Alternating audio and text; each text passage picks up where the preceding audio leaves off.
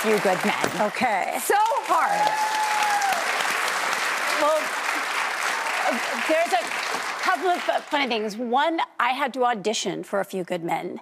The only thing is, is I was about seven and a half months pregnant.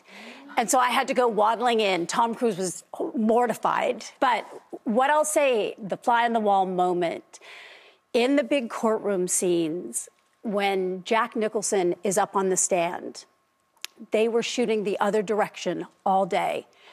And here I'm watching this, you know, iconic actor, this actor that, you know, I've grown up with, that I have such respect for, do off camera at full steam all day long. It was something that just moved me and really stayed with me on the importance of, of how we show up for each other.